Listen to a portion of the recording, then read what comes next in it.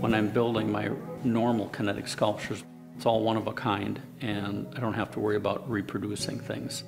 When you are making it mass production, you have to make it industrial friendly. You have to think of the types of machines it would take to make certain parts, how they're made, what's an efficient way to have them made. When we were researching this project and doing the patents and everything, there's nothing really to go with a fire pit other than a fire pit. So to have something that's purely for beauty and aesthetics to interact with the flames and the fire is pretty unique and pretty new.